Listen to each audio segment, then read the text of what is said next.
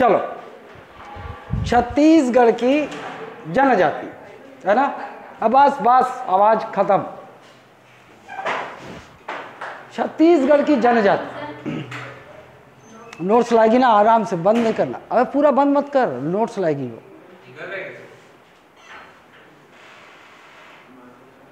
चलिए। तो आपके पीएससी में लगभग आप मान के चलें इस हिस्से से पंद्रह क्वेश्चन तक उम्मीद की जा सकती है है ना? जनजाति पढ़ेंगे मतलब हम जनजातियों के रहन सहन पढ़ेंगे, उनकी जो परंपराएँ हैं, संस्कृति है, जो वैवाहिक ढांचा है, जो उनके खान पान है, ये सब पर इनकी उत्पत्ति, ठीक है? इसके विषय में तो आज इंट्रोडक्टरी क्लास है, आज क्लास शुरू हो रही है तो सबसे पहले मैं आपको संवैधानिक प्रावधान बताऊँगा। है ना? कुछ रीसेंट डेवलपमेंट हुए हैं, कुछ कुछ विकास हुए हैं, कुछ संविधान में इनसे संबंधित कुछ गतिविधियाँ हुई हैं, उसके बारे में बात करेंगे।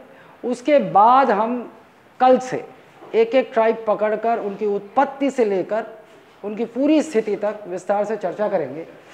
देखिए, जनजाति। सुदूर एवं दुर्गम क्षेत्रों में रहने वाले लोगों के समूह, जिनकी अपनी बोली, विशिष्ट संस्कृति, आर्थिक व्यवस्था एवं सामाजिक व्यवस्था होती है, उन्हें जनजाति कहा जाता है। ट्राइब जनजाति किसे कहा जाता है? बहुत सिंपल है ये। वर्ष अठारह में प्रकाशित एक ऐतिहासिक संदर्भ कार्य the imperial gazetteer of India के अनुसार एक जनजाति एक सामान्य नाम रखने वाली एक सामान्य बोली बोलने वाली, एक सामान्य क्षेत्र पर कब्जा करने वाले और आमतौर पर अंतर्विवाही नहीं होने वाले परिवारों का एक संग्रह है, एक समूह अंतर्विवाही मतलब ये, अन्य समूहों में विवाह करते हैं। अपने ही समूह में विवाह नहीं करते, अन्य समूहों में। डेफिनेशन है ये। किसी विशिष्ट सामाजिक समूह, धार्मिक संप्रदाय, जाति या जाति समूह के भीतर विवाह करने की प्रथा होती है इनमें। अपने ही ग्रुप में नहीं करते, बल्कि अन्य समुदाय में करते हैं। ठीक? इंट्रोडक्टरी है। संवैधानिक प्रावधान देखिए। भारतीय संविधान जनजातीय समूहों को परिभाषित नहीं करता। है ना? जितनी भी जनजातियाँ को, किसे हम जनजातीय समूह कहेंगे, इसकी परिभाषा संविधान में नहीं है। लेकिन संविधान में इससे संबंधित दो प्रावधान आपको मिलेंगे। एक मिलेगा आपको अनुच्छेद 342 यहाँ से प्रश्न बन सकता है। अनुच्छेद 342 और एक आपको मिलेगा अनुसूची पाँच भी मिलेगा, अनुसूची छः भी मिलेगा। इससे संबंधित है, जैसे आएगा, मैं आपको समझाता चला जाऊँगा। अनुच्छेद 342 देखिए। भारत के राष्ट्रपति, राज्यपाल के परामर्श पर किसी जनजातीय समूह को सूचीबद्ध कर सकते हैं। किसे अधिकार है? भारत के राष्ट्रपति को। कौन से समुदाय जनजाति कहलाएगी ये निर्णय करने का अधिकार किसको है? राष्ट्रपति को। राष्ट्रपति अनुच्छेद 342 के तहत संबंधित राज्यों के राज्यपाल से परामर्श लेकर उन आदिवासी समूहों को या जनजातीय समूह को सूचीबद्ध करते हैं, जनजातीय समूहों के भीतर घोषित करते हैं या सूचीबद्ध करते हैं। तो एक प्रावधान आपको पता होना चाहिए कि राष्ट्रपति एक केंद्रीय सूची होती है और एक राज्य की भी सूची होती है। राज्य भी अपने राज्य में कुछ लोगों को राज्य स्तर पर जनजातीय समूह घोषित कर सकता है, उन्हें आरक्षण दे सकता है। लेकिन अगर राष्ट्रीय स्तर पर चाहिए तो राष्ट्रीय स्तर पर यह प्रावधान अनुच्छेद 342 में है। इसमें ये शक्ति राष्ट्रपति को है। और अगर वो जनजातीय समूह यहाँ सूचीबद्ध हो जाती है, अनुच्छेद 342 के तहत तो फिर पूरे भारतवर्ष में वो एक ट्राइबल ग्रुप कहलाएगी और उसे सेंट्रल की नौकरियों में और वो सारे सुविधाएँ मिलेंगी, आरक्षण का लाभ मिलेगा। ठीक है? अब 342 में वो जनजातीय समूह सूचीबद्ध किए जाते हैं किसके द्वारा? राष्ट्रपति द्वारा। तो छत्तीसगढ़ की कितनी जनजातियाँ, अनुच्छेद 342 के तहत सूचीबद्ध है? बयालीस। कितनी जनजातियाँ सूचीबद्ध है? बयालीस। ठीक? और देखो, भाग 20 और अनुच्छेद तीन सौ बयालीस। मतलब आप जानते हो, संविधान यदि आप नहीं जानते हो तो आप क्या है? संविधान भागों में विभक्त है पहले। प्रत्येक भागों के अंदर, प्रत्येक भाग अनुच्छेदों में विभक्त है। तो अगर आपसे पूछा जाए कि ये जो जनजातियों को सूचीबद्ध जहाँ किया जाता है, ये प्रावधान संविधान में कहाँ कहाँ है? तो आप बोलोगे, अगर आप भाग पूछे तो भाग 20 कहेंगे, अनुच्छेद पूछे तो अनुच्छेद तीन सौ बयालीस कहेंगे। ठीक है? कितनी और छत्तीसगढ़ की कितनी जनजातियाँ सूचीबद्ध हैं? बयालीस। संविधान अनुसूचित जनजाति, देखो, एक आदेश जारी किया गया है, जिसका आदेश का नाम है, राष्ट्रपति ने एक आदेश जारी किया, संविधान अनुसूचित जनजाति आदेश 1950 इसी के तहत जनजाति समूह जो है, अनुच्छेद 342 और भाग 20 के तहत सूचीबद्ध किए जाते हैं। सूचीबद्ध किए जाते हैं मतलब उनको सूचियों में डाल दिया गया मतलब वो ट्राइबल ग्रुप हो गए। उन्हें अब सारी केंद्रीय योजनाओं, केंद्रीय आरक्षण का लाभ मिलेगा। अनुसूची पाँच। अब देखिए, अनुसूची पाँच और अनुसूची छ संविधान में आपको दो अनुसूचियाँ मिलेंगी। संविधान यदि आपने नहीं पढ़ा है तो हो सकता है, लेकिन आप केवल जैसे मैं बता रहा हूँ वैसे ही रखिए। अनुसूची पाँच और अनुसूची छ सूची छ। क्या है यहाँ? अनुसूची पाँच में अनुसूचित क्षेत्रों एवं जनजातीय क्षेत्रों का प्रशासन एवं नियंत्रण। अनुसूचित अनुसूचित क्षेत्रों तथा जनजातीय क्षेत्रों का प्रशासन व नियंत्रण व नियंत्रण संविधान में भाग और अनुच्छेदों के अलावा आपको अनुसूचियाँ भी मिलती हैं जिनकी संख्या बारह है। तो जनजातियों से जो संबंधित है वो अनुसूची पाँच और अनुसूची छः है। अनुसूची पाँच में कहता है कि अनुसूचित भारत में किसी भी राज्य में, सारे राज्यों में या संघ शासित प्रदेशों में अनुसूचित क्षेत्र तथा जनजातीय क्षेत्रों के प्रशासन व नियंत्रण का प्रावधान किया गया और वो कौन करेगा? उस राज्य का राज्यपाल। किसके हाथों में होगा? उस राज्य के राज्यपाल। इसका मतलब ये है, ये पूरा भारत है। भारत में मान लीजिए एक राज्य है, हमारा छत्तीसगढ़। ठीक? यहाँ पर किसी क्षेत्र को, किसी भी राज्य या संघ शासित प्रदेश में किसी क्षेत्र को अनुसूचित क्षेत्र स्केड्यूल्ड एरिया या फिर ट्राइबल एरिया ये घोषित करने का अधिकार किसका है? तो ये देख लीजिए, यहाँ केंद्र में कौन बैठा होता है? राष्ट्रपति बैठा होता है। राष्ट्रपति केंद्र में होता है ना? राज्य में तो राज्यपाल होते हैं।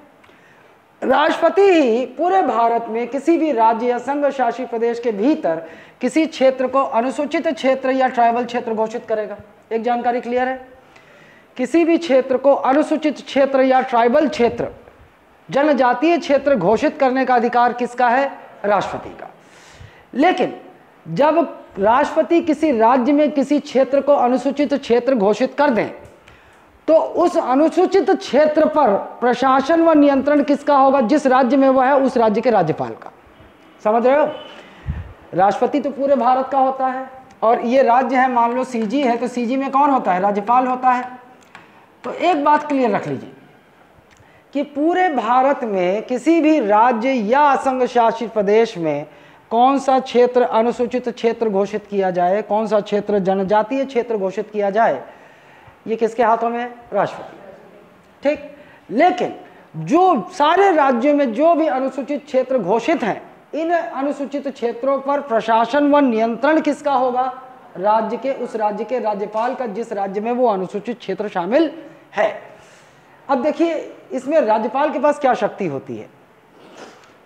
अनुसूचित क्षेत्र पहले समझ जाइए कि अनुसूचित क्षेत्र और जनजातीय क्षेत्रों का इनका रोल क्या है। ये जो जनजातियाँ होती हैं, ये भारतीय संस्कृति और परंपरा के वाहक होते हैं। जब हमारे पूर्वज जो है बंदर थे, वहाँ से विकसित हुए तो हम लोग विकसित होते चले गए, हम आगे चलकर बढ़ते चले गए, शहरों की ओर पलायन कर गए, हम मॉडर्न हो गए, आधुनिक हो गए। और वहीं पर कुछ लोग जो है अपनी जड़ों से जुड़े रहे मतलब जंगलों से बाहर ही नहीं निकले। ठीक? तो अब उनको संरक्षित रखना, उनको संरक्षण करना ये भी सरकार का दायित्व है।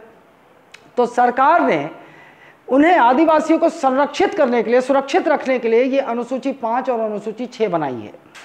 कैसे? अब क्या होता है कि जब राज्य, जब राष्ट्रपति किसी राज्य में किसी व्यक्तिगत छे, किसी क्षेत्र को अनुसूचित क्षेत्र घोषित करते हैं या जनजातीय क्षेत्र घोषित करते हैं। इसका अर्थ यह हुआ कि उस राज्य के राज्यपाल को यह शक्ति प्राप्त हो गई है कि वो केंद्र के किसी भी कानून को या राज्य सरकार के किसी भी कानून को इस अनुसूचित क्षेत्र में लागू होने से रोकने की शक्ति रखता है। आमतौर पे हम क्या देखते हैं? अगर संसद ने कोई कानून बनाया है तो वो पूरे भारत पर लागू होगा। और राज्यों में हमने देखा कि ये विधानसभा से कोई, अगर विधान मंडल कोई कानून बनाता है तो वो उस राज्य में लागू होता है।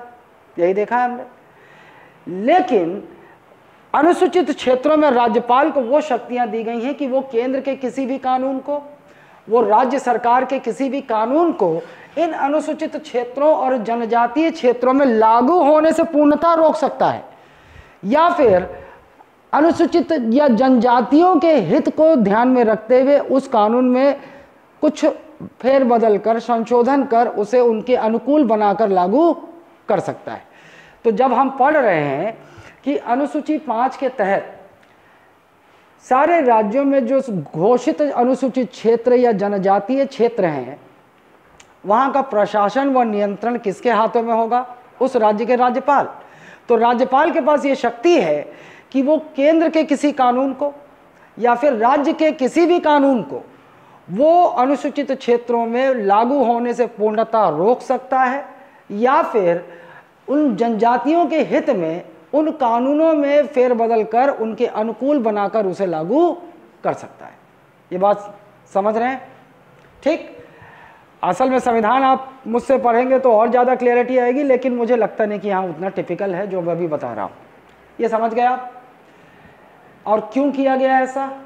जनजातियों के हित में। कैसे? अगर मान लीजिए, देखिए क्यों किया गया। जैसे हमारा अबूझमाड़ क्षेत्र है, अबूझमाड़ तो एक ट्राइब है अबूझमाड़िया।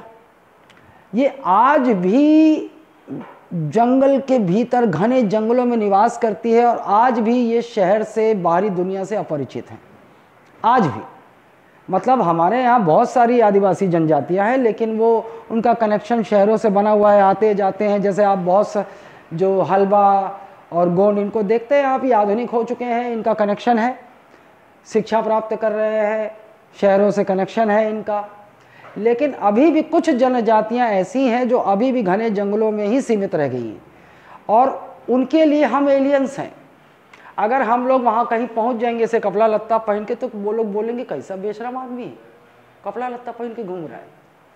वो लोग आज भी पत्ता लपेट के घूमते हैं। वही हमारे पूर्वज जैसे मतलब पुरानी जब सभ्यता शुरू हुई थी, जैसे रहते थे। अच्छा एक तो एक हमसे डरेंगे भी, है ना? तो फिर पता चला कि अव्वल तो ऐसी जगह आप जाओगे तो पहले ही दूर से ही बाढ़ से गोद देंगे। एलियन आया है। और गाड़ी वाड़ी लेके चले गए तो पता नहीं कौन सा हथियार लेके आया है। दूर से ही भाला और तीर मार के गोद देंगे। लेकिन मानव जनजातियों से ज़्यादा खतरनाक हम आधुनिक मानव हैं। ये जितने क्रिमिनल उमिनल है, पता चला अपराध करके उन्हीं घने जंगलों में छिपने के लिए चले गए बंदूक और सब हथियार लेकर तो वहाँ जाएँगे तो जनजातियों उन ट्राइबल्स को नुकसान पहुँचाएँगे। जबकि सरकार सारे प्रयास कर रही है कि वो जनजातियाँ जो हमारी परंपरा के वाहक हैं, हमारी मानव सभ्यता और संस्कृति के वाहक हैं, उन्हें सुरक्षित रखा जाए क्योंकि इनकी जनसंख्या बहुत तेज़ी से घट रही है। इनकी विशेष बोली है, इनकी विशेष परंपरा है, इनकी विशेष संस्कृति है, इसको सुरक्षित और संरक्षित रखना सरकार का दायित्व है, इसीलिए तो ये सब प्रावधान किए गए तो अब वहाँ पर आपका, आपके पास एक मौलिक अधिकार है ना? एक मौलिक अधिकार है कि आप भारत के किसी भी क्षेत्र में आबाद रूप से संचरण कर सकते हैं। कहीं भी। आपको वीज़ा लेने की ज़रूरत नहीं है। आप मध्य प्रदेश चले जाइए, केरला चले जाइए, पूरे भारत वर्ष में आप कहीं भी बस में बैठिए, टिकट कटाइए, पहुँच जाइए। आपका मौलिक अधिकार है। लेकिन आपके उस मौलिक अधिकार को यहाँ रोका जा सकता है। क्यों? क्योंकि उस राज्य के राज्यपाल को ये शक्ति है कि केंद्र के किसी भी कानून को या राज्य के किसी भी कानून को वो वहाँ लागू होने से रोक सकता है। आपके मौलिक अधिकार को भी रोका जा सकता है। गए आप। अबूझ मार के जहाँ अबूझ मारिया जनजाति रहती, वहाँ खड़े हो गए और आपको वहाँ के जो अधिकारी हैं, बाहर ही रोक रहे हैं। और जाके बोलोगे don't you know I have this fundamental right I have the fundamental right to move freely any anywhere in any part of the India तो बोलेगा, बेटा, माहौल मालूम है। लेकिन तोला नहीं मालूम है, ये अनुसूचित क्षेत्र है। यहाँ तुम्हारे मौलिक अधिकार को रोका जा सकता है। है ना? वरना मैं तुमको जाने भी दे दिया तो तुम वापस आओगे नहीं। है ना? गोद दिए जाओगे अंदर ही जाकर। तो आपके तो इस क्षेत्र का आप इंपॉर्टेंस समझ रहे हैं? इसीलिए कुछ रिसर्चर्स और वो जो रिसर्चर्स होते हैं, कुछ वो विशेष अनुमति से वहाँ भेजे जा सकते हैं। उन्हें अनुमति दी जा सकती है, लेकिन आपका मौलिक अधिकार भी यहाँ रोक दिया जाता है। आपको अधिकार नहीं। इस तरह का होगा तो आप जाओगे टाइगर रिज़र्व में और जो कोर कोर एरिया है, जहाँ शेर रहते हैं, आप जाओगे बोलो मेरा मौलिक अधिकार है, मुझे कोर एरिया में जाना नहीं भाई, आपके मौलिक अधिकारों को वहाँ भी प्रतिबंधित किया जा सकता है, आपको वहाँ रोका जा सकता है, आप कोर एरिया में नहीं जा सकते। ठीक? ये रही बात किसकी? अनुसूची पाँच की। इसका मूल फैक्टर समझ गए? अनुसूची पाँच के तहत भारत के किसी भी हिस्से में अनुसूचित क्षेत्र और जनजातीय क्षेत्रों का प्रशासन व नियंत्रण किसके हाथों में होगा? उस राज्य के राज्यपाल के। और राष्ट्रपति को यह अधिकार है कि वो भारत के किसी भी राज्य या संघ शासित प्रदेश में किसी भी हिस्से को अनुसूचित क्षेत्र घोषित कर सकता है। ठीक? अच्छा उसके बाद अनुसूचित छह देखिए।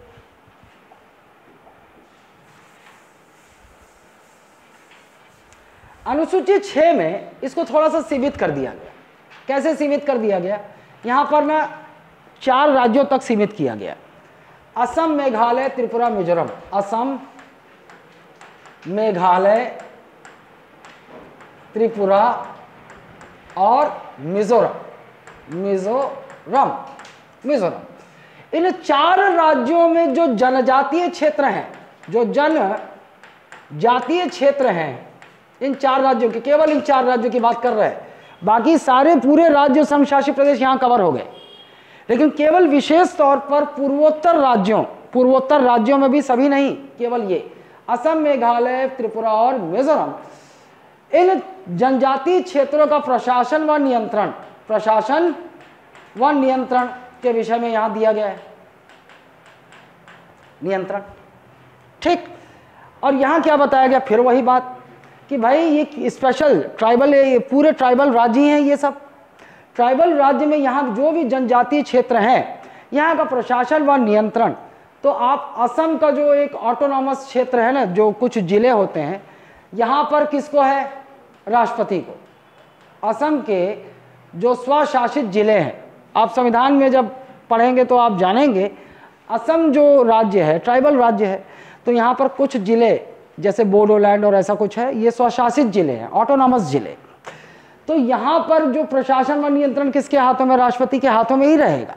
लेकिन मेघालय, त्रिपुरा और मिजोरम के जो जनजातीय क्षेत्र है, यहाँ का प्रशासन व नियंत्रण किसके हाथों में? राज्यपाल। यहाँ पर राष्ट्रपति तय करेंगे केंद्र के कोई कानून वहाँ लागू हो या ना हो, राज्य का कोई कानून लागू हो या ना हो, या फिर जनजाति, जनजातियों के हित में अपने हिसाब से संशोधित कर लागू कर सकते हैं।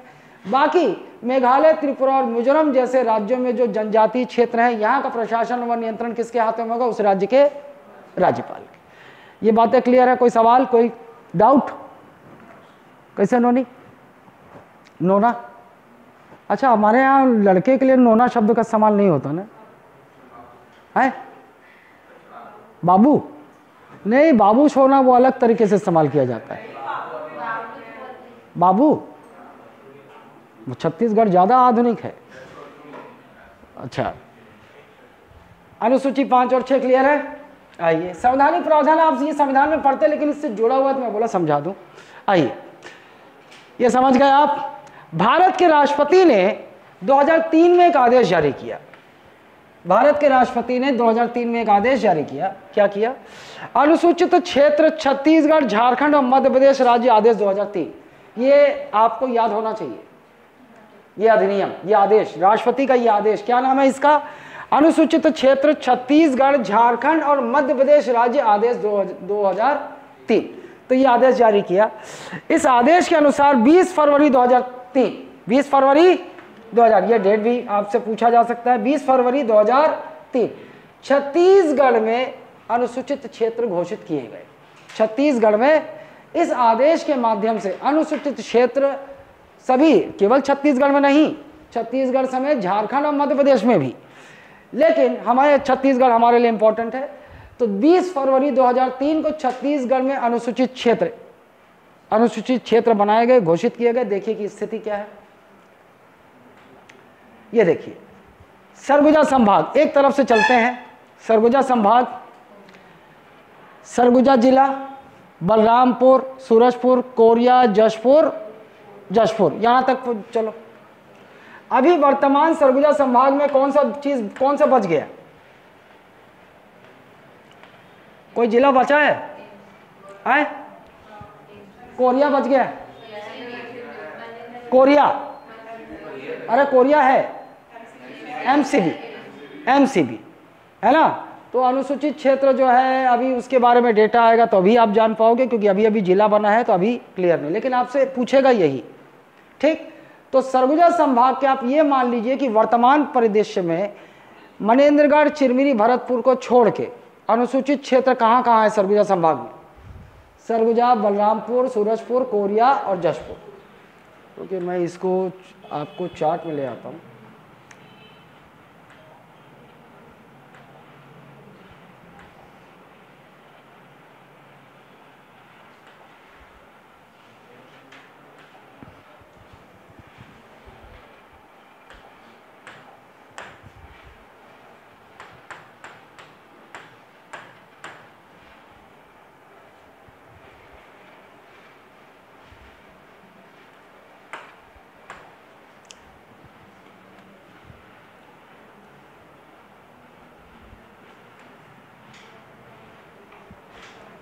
तो अभी हम यहाँ से भी क्वेश्चन बन सकता है ना, छत्तीसगढ़ में अनुसूचित क्षेत्र, ठीक?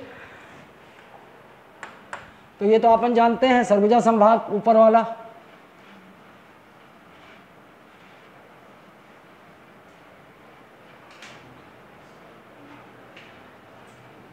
ये ये है आपका सरगुजा संभाग। तो सबसे पहले ऊपर से पकड़ते हैं कि सरगुजा संभाग में कौन कौन से जिलों में अनुसूचित क्षेत्र है। उस हिसाब से अपन देखेंगे तो पूरा सरगुजा संभाग, पूरा पूरा सरगुजा संभाग, पूर्ण सरगुजा संभाग, ये पूरा ट्राइबल बेल्ट है। तो सर, पूरा सरगुजा संभाग अनुसूचित क्षेत्र मतलब हर ज़िले में, सरगुजा संभाग के हर ज़िले में अनुसूचित क्षेत्र है। ये बात क्लियर है। फिर उसके बाद बारी किसकी आई? बिलासपुर की। बिलासपुर में कोरबा गौरेला, पंडरा, मारवाही, तीन होगा, तीन। चलिए। ये जो है, ये आपका बिलासपुर संभाग है।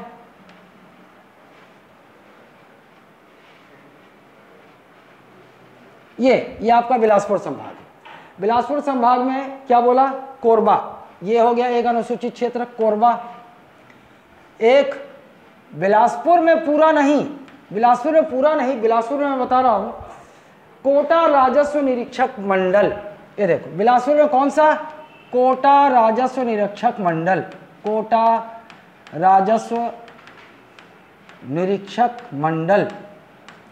एक मंडल है, उसमें कौन सा? कोटा। पूरा बिलासपुर नहीं। बिलासपुर में केवल कोटा राजस्व निरीक्षक मंडल, ये यहाँ पर अनुसूचित क्षेत्र घोषित है। और गौरेला पेंड्रा मारवाही में तीन क्षेत्र। देखो। गौरेला पेंड्रा मारवाही जिला ये है इसमें एक मरवाही एक मरवाही तहसील है। वो पूरी की पूरी मरवाही अनुसूचित क्षेत्र घोषित है। तो एक चलो ले लिया क्या? गौरेला पंद्रह मरवाही में मरवाही। ठीक? फिर गौरेला जो है, गौरेला जो है, उसमें दो unit Gaurela one Gaurela two है ना? गौरेला जो एक है आपका, ये, इसको मान लेते हैं गौरेला। गौरेला में दो unit Gaurela one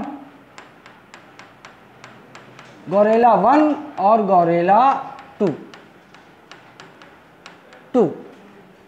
तो गौरेला पेंड्रा तो बिलासपुर संभाग में ये ज़िले आपको पता है, मुंगेली, गौरेला पेंड्रा, मारवाही, ये बिलासपुर, ये कोरबा, ये जांगीर चापा, ये शक्ति, ये रायगढ़, ये सारंगढ़ बिलईगढ़ छत्तीसगढ़ संभाग के ज़िले हैं। सॉरी बिलासपुर संभाग के ज़िले, लेकिन पूरा बिलासपुर संभाग नहीं, बिलासपुर संभाग में तीन चीज़ें याद रखेंगे। एक आपका कोरबा जिला पूरा और बिलासपुर ज़िले में केवल कोटा राजस्व निरीक्षक मंडल और गौरेला पेंड्रा मरवाही भी पूरा जिला नहीं है। गौरेला पेंड्रा मरवाही में तीन तहसीलों से मिलकर बना है वो, गौरेला, पेंड्रा और मरवाही। मरवाही पूरा और गौरेला में गौरेला वन, गौरेला टू। प्रश्न यहाँ से बनेगा तो अच्छा प्रश्न बनेगा, ठीक है? जनजाति विकास खंड मतलब ये जो आपको मरवाही, देखो हमारे यहाँ ट्राइबल जनजाति विकास खंड भी बनाए जाते हैं। आगे आप पढ़ेंगे। जनजाति विकास खंड। तो पूरा का पूरा हमारे यहाँ कुछ ज़िले पूर्ण रूप से, पूर्ण रूप से पूरा जिला घोषित है। और कई कई जगह केवल उस ज़िले के कुछ जनजाति विकासखंड अनुसूचित क्षेत्र घोषित हैं। तो गौरेला पेंड्रा मारवाही ज़िले में कौन सा विकासखंड एक तो मारवाही जनजाति विकासखंड एक गौरेला वन विकासखंड गौरेला टू विकासखंड ये अनुसूचित क्षेत्र घोषित है। बिलासपुर में केवल कोटा राजस्व निरीक्षक मंडल कोरबा जिला पूरा कोरबा जिला पूरा। और बाकी और कोई जिला जो बच गया है वो अनुसूचित क्षेत्र नहीं है, है? अरे रायगढ़ सॉरी बुला गया रायगढ़ तो बचे है। रायगढ़ में देखिए कौन कौन सा। ये रायगढ़ जिला ना। इस रायगढ़ ज़िले में कौन कौन सा? एक धर्मजयगढ़ एक धर्मजयगढ़ दूसरा, घर घोड़ा। घर घोड़ा। तीसरा, खरसिया भी होगा। लैलूँगा भी है और तमना लैलूँगा और तमना तो ये इसे रायगढ़ को ही लो। लैलूँगा और तमनार और तमनार तो ये बिल्कुल यहाँ प्रश्न बन सकता है। तो बिलासपुर संभाग में अनुसूचित क्षेत्रों के लिए हम चार ज़िले देखेंगे। एक गौरेला पंडरा मारवाही, एक कोरबा, एक बिलासपुर, एक रायगढ़। मतलब बिलासपुर संभाग में अब कौन कौन से छूट गए जो अनुसूचित क्षेत्र बिल्कुल नहीं है? जांगीर चापा शक्ति दो ज़िले और एक मुंगेली। यहाँ पर बिल्कुल भी अनुसूचित क्षेत्र नहीं है। लेकिन इस बिलासपुर संभाग में जितने ज़िले हैं, उसमें से एक ही जिला है जो पूर्ण रूपेण अनुसूचित क्षेत्र कौन सा? कोरबा। अब बाकी जो ज़िले हैं, आंशिक है ना? आंशिक हैं। जैसे गौरेला, पेंड्रा, मरवाही में मरवाही जनजाति विकास खंड, गौरेला में दो विकास, वहाँ दो जनजाति विकास खंड है। एक गौरेला जनजाति विकास खंड वन कह देते हैं, और एक को गौरेला जनजाति विकास खंड टू कह देते हैं। फिर आ जाते हैं बिलासपुर में, बिलासपुर ही पूरा नहीं है। बिलासपुर में केवल कोटा राजस्व निरीक्षक मंडल जो है, वो वो अनुसूचित क्षेत्र घोषित है। और रायगढ़ में चले जाते हैं तो रायगढ़ में पाँच जनजाति विकास खंड रायगढ़ में कितने? पाँच। कौन कौन से? धर्मजयगढ़ घर घोड़ा खरसिया, लैलुंगा और तमना ये याद रखना है आपको। लैलुंगा तमनार धर्मजयगढ़ घर घोड़ा और खरसिया। अब नीचे आ जाते हैं। नीचे आ जाएँगे तो हमको मिलेगा बालौद। बालौद। दुर्ग दुर्ग जो आपका है, वहाँ केवल आपको क्या मिलेगा? बालौद। ये देखो। ये है आपका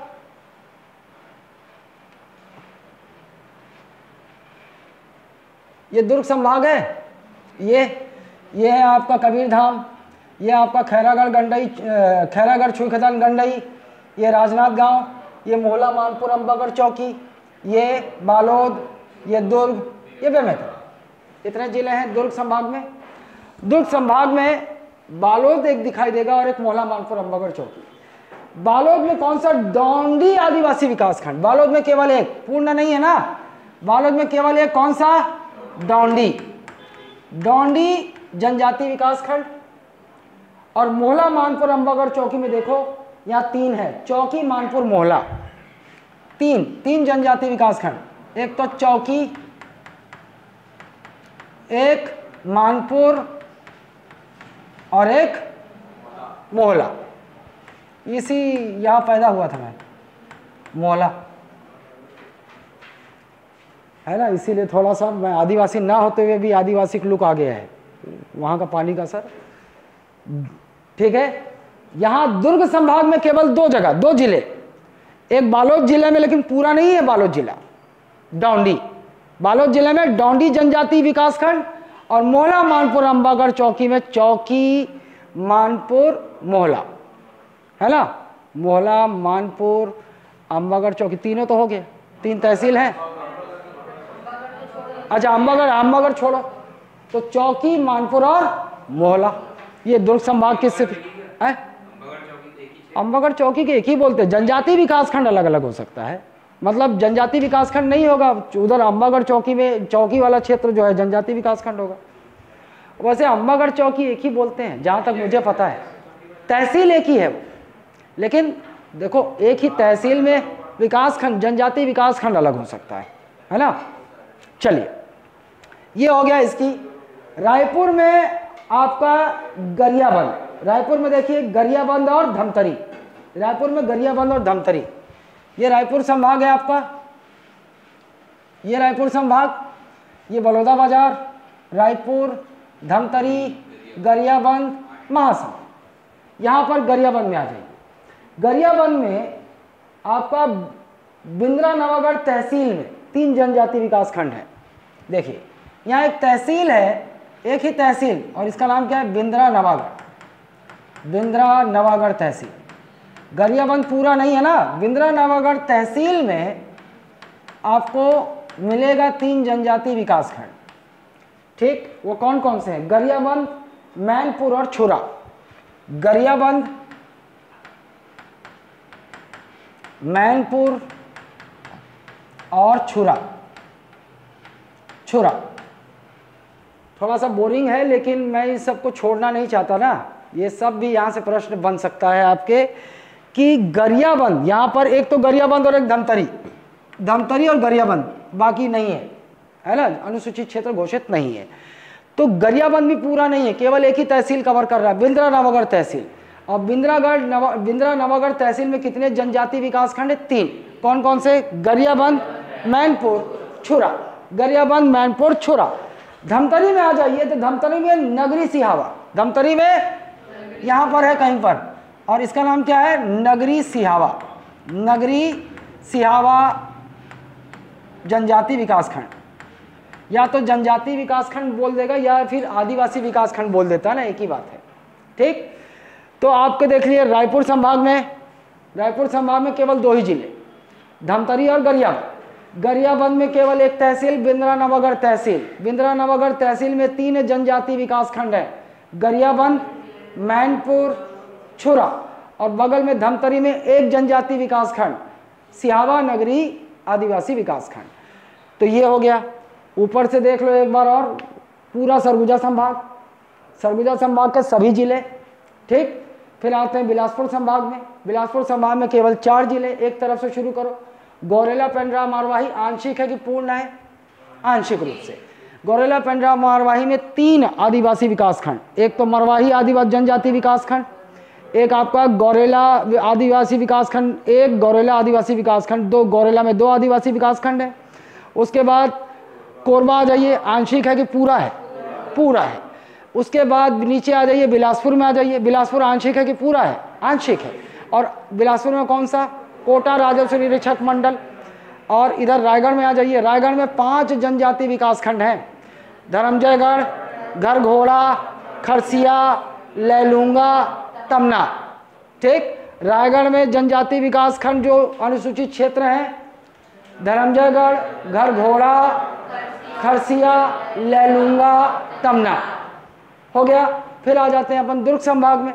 दुर्ग संभाग में केवल दो ज़िले हैं। एक बालोद है और एक मोला मानपुर अम्बागढ़ चौकी। बालोद आंशिक है कि पूर्ण है? आंशिक है। कौन सा आदिवासी विकास खंड? गौंडी आदिवासी विकास खंड। फिर आ जाते हैं बगल में मानपुर, मोला मानपुर अम्बागढ़ चौकी में। यहाँ तीन जनजाति विकास खंड है। कौन कौन से? चौकी, मानपुर मोहला उसके बाद रायपुर संभाग में आ जाते हैं। केवल दो ज़िले हैं। धमतरी और गरियाबंद। आंशिक है कि पूर्ण है दोनों? आंशिक है। गरियाबंद में चलते हैं। पहले कौन सा तहसील? बिंद्रा नवागढ़ तहसील। बिंद्रा नवागढ़ तहसील में तीन जनजाति आदिवासी विकास खंड हैं, जिन्हें अनुसूचित क्षेत्र घोषित है। कौन कौन से गरियाबंद मैनपुर, छुरा। अब बगल में धमतरी में आ जाते हैं, इसमें एक ही जनजाति विकास खंड है। कौन सा? नगरी सिहावा बस्तर में पहुँचते हैं, पूरा। पूरा। पूरा जिला, बस्तर का पूरा जिला। ठीक? बस्तर पूरा संभाग मतलब ये जो आपका शुरू हुआ, ये पूरा आपका जनजाति, अनुसूचित जनजाति क्षेत्र है। ये पूरा। ऊपर वाला ये कांकेर, ये कोनागांव ये नारायणपुर, ये दंतेवाड़ा, ये बस्तर, ये सुकमा, ये बीजापुर। तो बड़ा आसान है। पूरे छत्तीसगढ़ में अनुसूचित क्षेत्र, है ना? अनुच्छेद राष्ट्रपति आदेश कौन सा है? अनुसूचित क्षेत्र, छत्तीसगढ़, उड़ीसा छत्तीसगढ़, झारखंड, मध्य प्रदेश, आदेश 2003 इसके अनुसार छत्तीसगढ़ में इतने क्षेत्र अनुसूचित क्षेत्र घोषित किए गए। ठीक है? तो ऊपर और नीचे का कोई दिक्कत ही नहीं है। बस्तर संभाग, है? हाँ आप देख रहे हैं ना? वही देखो, क्वेश्चन दो तरीके से बन सकता है। एक इनमें से कौन से ज़िले में अनुसूचित क्षेत्र नहीं है? एक ऐसा बन सकता है या है, ऐसा बनेगा। दूसरा बनेगा कि भैया, फलाना ज़िले में कौन सा विकासखंड अनुसूचित क्षेत्र नहीं है? ऐसे बन सकता है। तीसरा क्वेश्चन ऐसे बन सकता है कि भाई, इनमें से कौन से ज़िले पूर्णतः अनुसूचित क्षेत्र घोषित है? या इनमें से कौन से आंशिक रूप से अनुसूचित क्षेत्र घोषित है? ये एंगल से क्वेश्चन बनेगा। ठीक? तो उसे बहुत अच्छा है। ऊपर सरगुजा संभाग पूरा, नीचे बस्तर संभाग पूरा। कहा होगा नोनी? अरे एमसीबी वो, होगा ना पूरा वो? जब कोरिया पूरा है तो उसी में से कट के एमसीबी बना तो वो भी होगा ही होगा, ना? ट्राइबल, जो वहाँ ट्राइबलों की संख्या बहुत होगी, तभी तो पूरा जिला घोषित है ना। अब एमसीबी आधा कट के एमसीबी बन गया। ये देखो, ये हिस्सा ये हिस्सा कट के क्या बन गया? ये एमसीबी हो गया है। मनेन्द्रगढ़ चिरमिरी, भरतपुर जिला और ये कोरिया। पूरा होगा तो सरगुजा संभाग पूरा, बस्तर संभाग पूरा। बिलासपुर संभाग आंशिक, संभाग के रूप में बोल रहा हूँ ना, आंशिक। दुर्ग संभाग आंशिक, रायपुर संभाग आंशिक। बिलासपुर संभाग में कौन कौन से ज़िले हैं जो अनुसूचित क्षेत्र बिल्कुल नहीं है? मुंगेली नहीं है जांगीर चांपा नहीं है, शक्ति नहीं। बाकी चार ज़िले चार ज़िले अनुसूचित क्षेत्र हैं। इसमें से पूर्णता पूर्णता अनुसूचित क्षेत्र जिला कौन सा है? कोरबा। बाकी तीनों जो बचे आंशिक हैं, है ना? फिर अपन दुर्ग संभाग में आ गए, केवल दो ही ज़िले हैं। बालोद और मानपुर मोहला अम्बागढ़ चौकी, लेकिन इसमें भी कोई भी पूर्ण नहीं। समझ गए? रायपुर में चले जाओ, तीन ज़िले बिल्कुल है ही नहीं। गरियाबंद और धमतरी, आंशिक रूप से। और बस्तर पूरा। ठीक? ध्यान रहेगा? चलिए, आगे बढ़ते हैं। ज़िले जो पूर्णतः अनुसूचित क्षेत्र के अंतर्गत है, बस्तर संभाग पूरा, कोई दिक्कत? पूरा। सरगुजा संभाग, सभी छह ज़िले, पूरा, कोई दिक्कत? नहीं। आइए। बिलासपुर संभाग का कोरबा जिला। एक बचा है बिलासपुर संभाग का एक। मतलब इधर छह जिला, ये सात जिला और एक बिलासपुर। छः सात, तेरह और चौदह। चौदह ज़िले पूर्णतः अनुसूचित क्षेत्र हैं। ठीक है? आइए। आंशिक रूप से अनुसूचित क्षेत्र बताने की ज़रूरत नहीं, आपके नोट्स में है और आप देख चुके हो। अच्छा एक और चीज़। दुर्ग संभाग में आंशिक रूप से एक जिला आता है कबीरधाम। ये देखो, आपके नोट्स में है, आंशिक रूप से, लेकिन इसका विकास खंड नहीं बताया।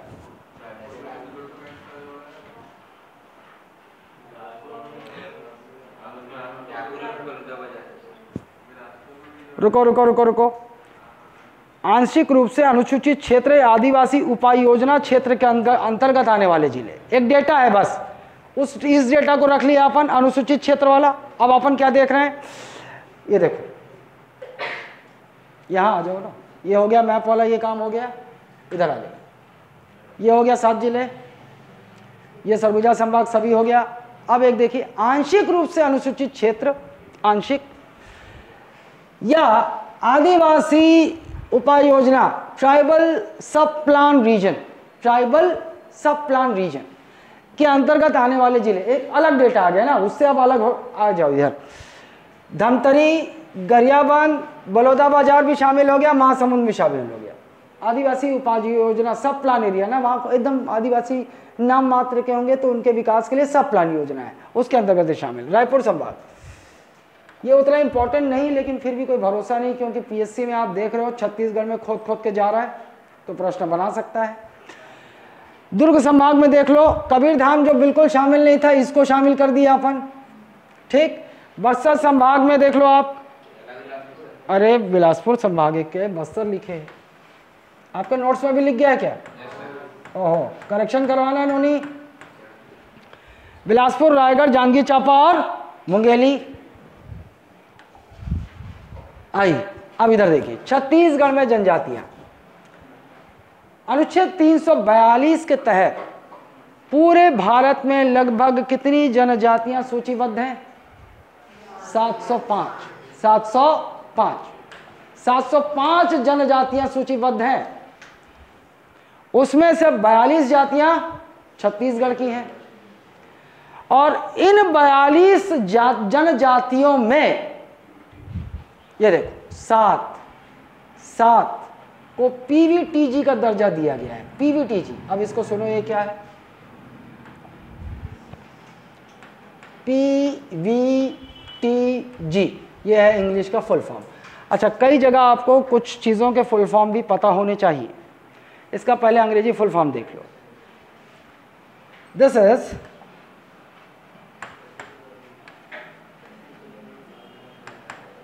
particularly vulnerable vulnerable tribal groups. Tribal groups. ये है। है ना? विशेष रूप से पिछड़ी हुई जनजाति या विशेष रूप से कमज़ोर जनजाति। आपके नोट्स में है, कहीं ना कहीं होगा फुल फॉर्म भी लिखा होगा। याद होना चाहिए, कुछ चीज़ें ऐसी होती हैं जिसका फुल फॉर्म पता होना चाहिए। कई बार एब्रीवेशन वाले प्रश्न पूछ देता है ना PVTG particularly vulnerable tribal group Hindi क्या है? विशेष रूप से कमज़ोर जनजाति या विशेष रूप से पिछड़ी हुई जनजाति। तो हमारे छत्तीसगढ़ में जो 42 जनजातियाँ हैं, इसमें सात जनजातियों को पीवीटीजी घोषित किया गया है केंद्र सरकार द्वारा। अच्छा पी नहीं, सात कुल मिलाकर हैं, जिसमें से पाँच केंद्र सरकार द्वारा घोषित है, पाँच जनजातियाँ, विशेष रूप से पिछड़ी जनजातियाँ घोषित है, और दो राज्य सरकार द्वारा। तो यहाँ से भी एक प्रश्न बन जाएगा कि कुल तो एक पहला कुल मिलाकर, कि छत्तीसगढ़ की 42 जनजातियों में वो कौन कौन सी जनजातियाँ हैं जो पीवीटीजी स्टेटस है जिनके पास, या पीवीटीजी के तहत आते हैं? और ये देख लो पाँच, केंद्र या राष्ट्रपति द्वारा घोषित देख लो पहले। अबूझमाड़िया बैगा, पहाड़ी कोरवा, कमर नहीं है रे, कमार कमार, ध्यान दो, कमार, बिरहो। ये पाँच जनजातियाँ राष्ट्रपति द्वारा घोषित और राज्य सरकार द्वारा पंडो और भुंजिया। प्रश्न यहाँ बन गया, यहाँ से भी बन गया। कि कितनी छत्तीसगढ़ की कितनी जनजातियाँ, पीवीटीजी मतलब विशेष रूप से कमज़ोर जनजातियाँ या विशेष रूप से पिछड़ी जनजातियों की श्रेणी में है सात। सात में से पाँच केंद्र सरकार द्वारा पीवीटीजी घोषित है। कौन कौन सी अबूझमाड़िया बैगा, पहाड़ी, कोरवा, कमार, बिरहोर। कौन कौन सी अबूझमाड़िया बैगा, पहाड़ी, कोरवा, कमार, बिरहोर। केंद्र सरकार द्वारा घोषित पाँच जनजातियाँ जो पीवीटीजी स्टेटस है कौन कौन सी अबूझमाड़िया बैगा, पहाड़ी कोरवा, कमार बिरहोर और राज्य सरकार द्वारा पंडो और भुंजिया, पंडो और भुंजिया। राज्य सरकार द्वारा दो जनजातियाँ जो पीवीटीजी घोषित है, पंडो और भुजिया। हल्दीराम भुजिया याद आ रहा होगा, इसीलिए हंस रहे तुम लोग। है ना? है? किसको याद कर रहे हो? पकोड़ा? यहाँ अच्छा पहाड़ी को पकोड़ा बोल रही? अच्छा। ठीक है।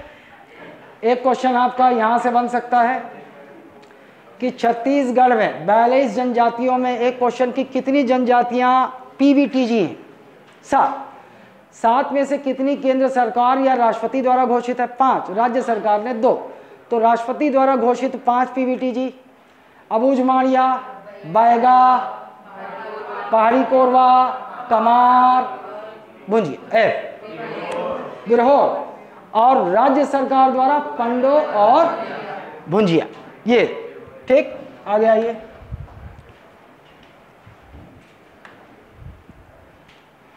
जितने नहीं आए हैं ना, वीडियो डालना डालना नहीं ग्रुप में।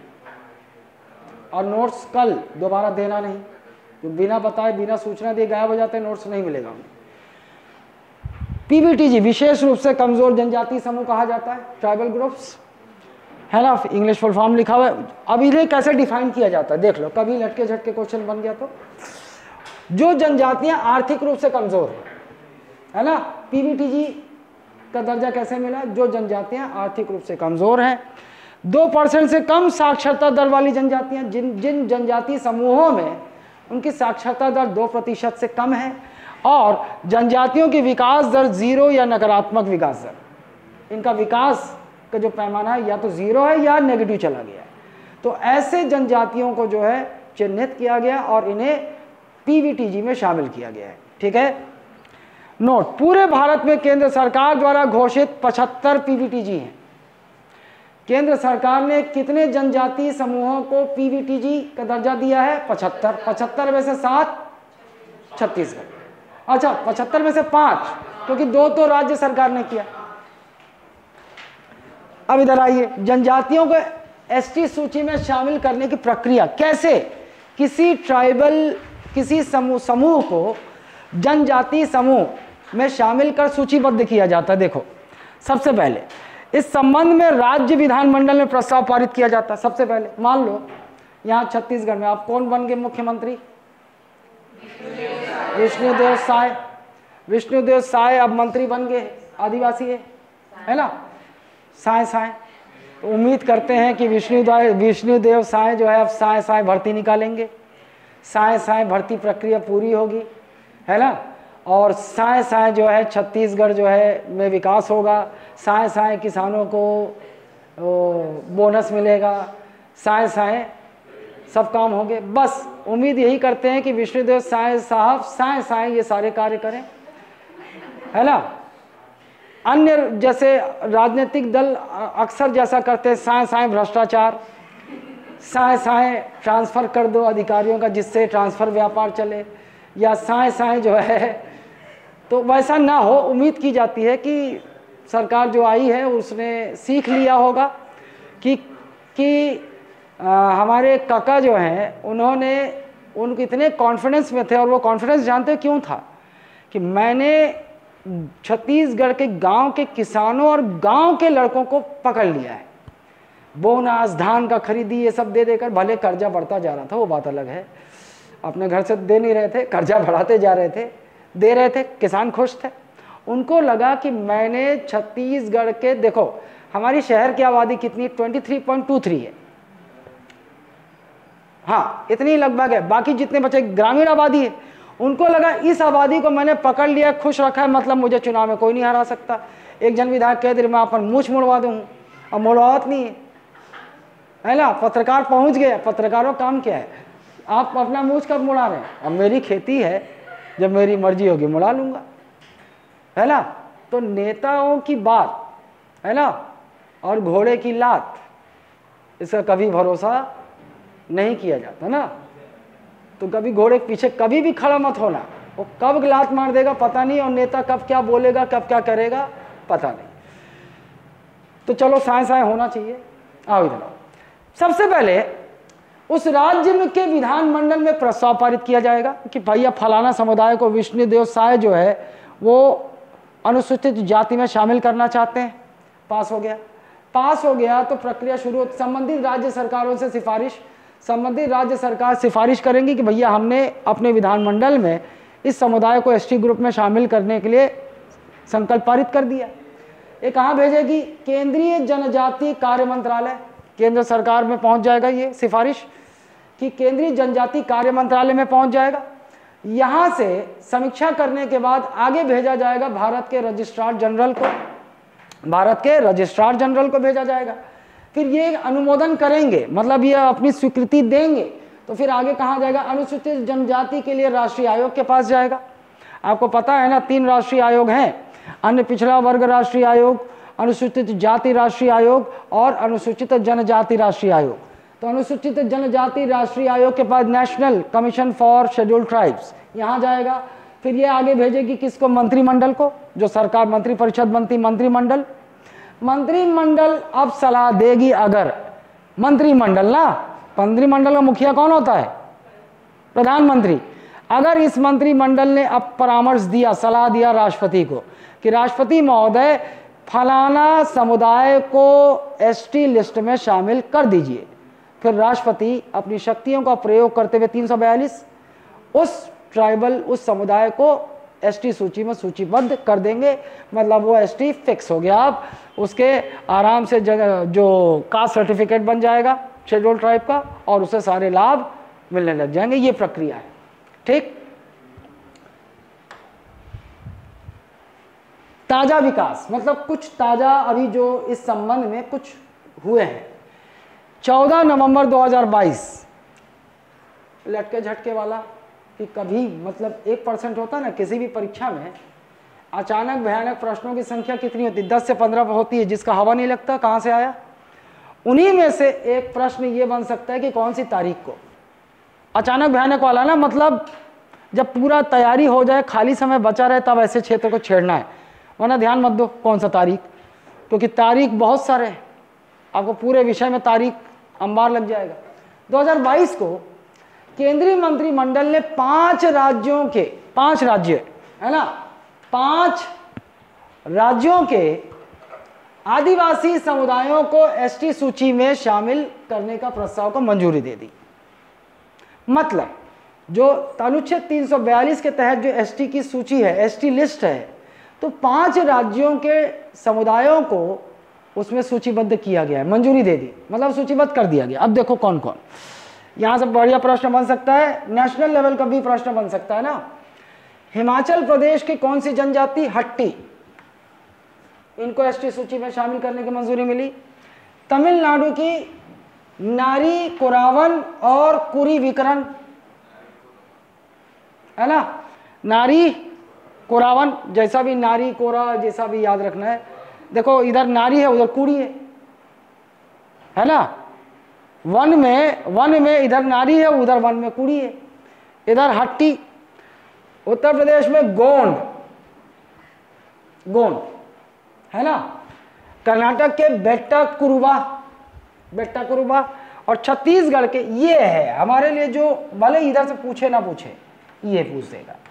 कौन, छत्तीसगढ़ की कौन सी जनजाति जो है हाल ही में नवंबर 2022 में अनुच्छेद 342 के तहत राष्ट्रपति द्वारा सूचीबद्ध की गई। बिंझिया बिंझिया। ये बिंझिया मूल जनजाति नहीं है छत्तीसगढ़ की। वास्तव में ये झारखंड और उड़ीसा की है। लेकिन भाई, रोक रोक थोड़ी है। वहीं में से कुछ परिवार आके धीरे धीरे धीरे छत्तीसगढ़ के इस क्षेत्र में भी बसे हैं। तो इस क्षेत्र की बिंझिया जो थी तो छत तो इनको ना लाभ नहीं मिलता था। आदिवासी ये भी हैं, लेकिन इन्हें लाभ नहीं मिलता था। तो छत्तीसगढ़ से बिंझिया को 342 अनुच्छेद के तहत सूचीबद्ध किया गया केंद्र सरकार ने 2022 में मंजूरी दी। ठीक? बिंझिया जनजाति के विषय में, चूँकि यही है छत्तीसगढ़ से संबंधित तो थोड़ा सा डिटेल जानना होगा। आई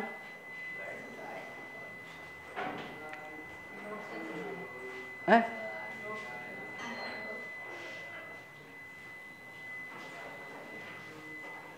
क्या होगा नोनी तू बेहोश रहती है तू। चलो चलो कल करेंगे कंटिन्यू यहाँ से।